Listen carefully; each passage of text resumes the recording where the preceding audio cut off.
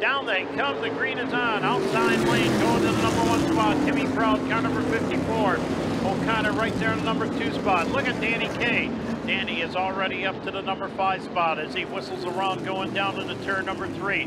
Meanwhile, Radcliffe in car number 73, he looks like he's wearing hot shoes right now as he drops down to the inside and trying to take away the number two spot on O'Connor. And he does just that.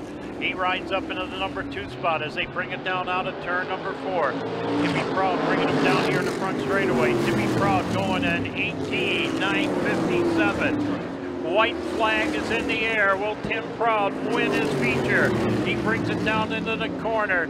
Radcliffe right there in the number two spot. Danny K riding third. Slower cars coming up on your leaders as they go down into turn number three. Scorers stand by. This one is going to be close. They race coming off the corner. We got traffic coming out of turn number four. Timmy Proud takes the win. Danny K got up to second. Radcliffe third. Tim Proud, winner feature number two.